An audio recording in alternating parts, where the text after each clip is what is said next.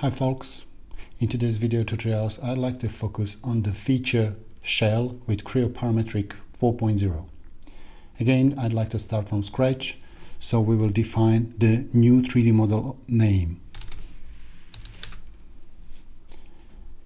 If you would like this working with shell feature we need to create 3D geometry so I will prepare the couple of features. It will be really easy shape and doesn't matter about the dimension and symmetric. So I'd like to only create a base 3D models and I don't want to see the datum feature here.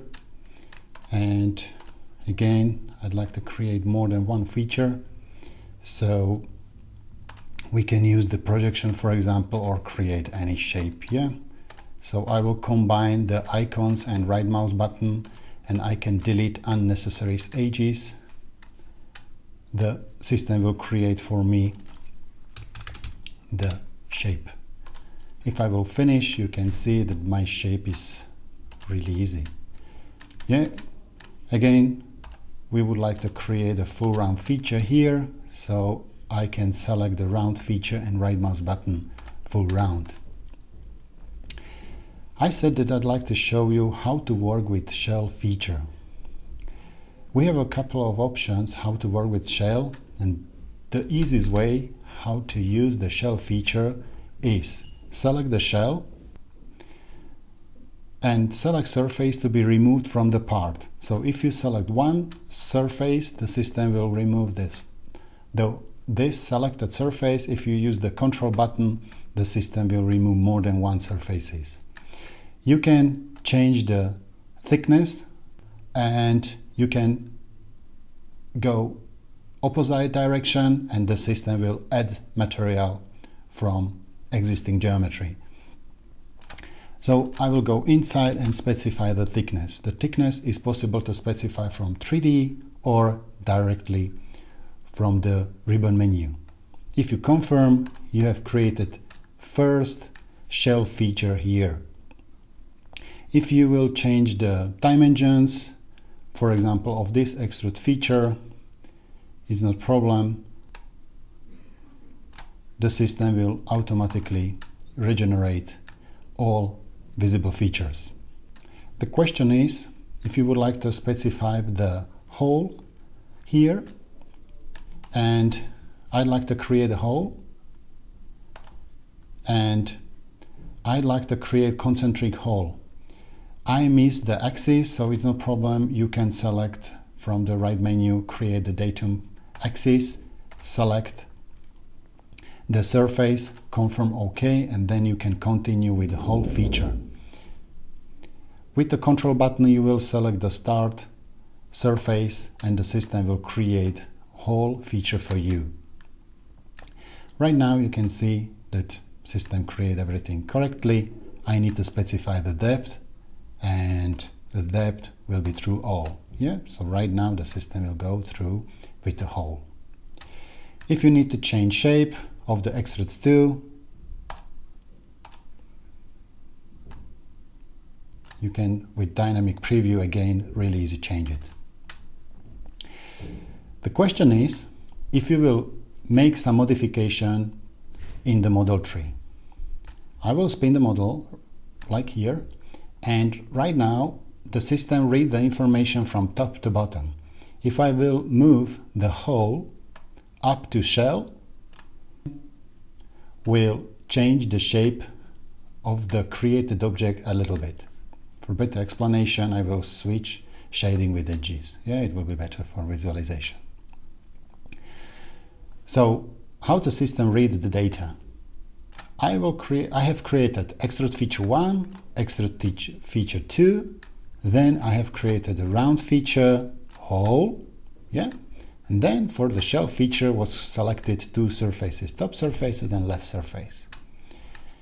If you would like to edit that hole, you can select again edit definition for shell feature and you can in the reference tab select more than two surfaces and the system will remove the hole too. So it depends how you will manage the feature in model tree. And what about another modification of the shell? You can add or remove the feature because over here you can see the menu where is removed removed feature. So for example, you can remove that surface or you can use the menu from here, from the ribbon, or you can use the control button. On the right side here is the specification non-default thickness. If you click here and you specify one or more surfaces, the system will show you the another dimension thickness.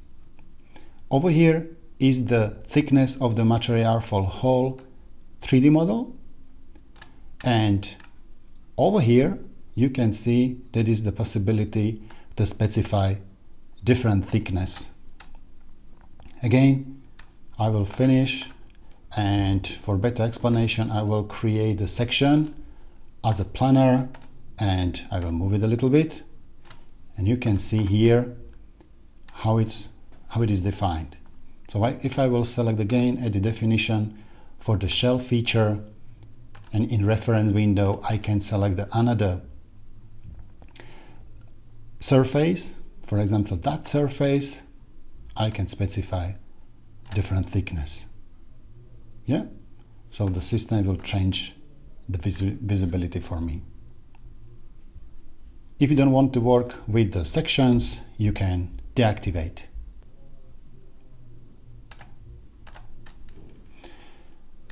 In this example, you have seen how we can work with shell feature and specify different visibility of the removed surfaces or how to manage the feature in the model tree.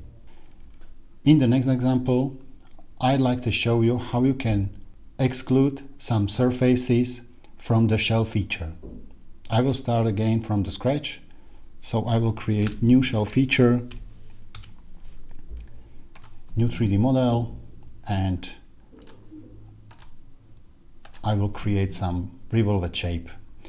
I'd like to create, for example, some cap. So over there will be really easy shape for the cap. And if you work with revolve feature, we need to specify the, the revolved shape and axis of revolution.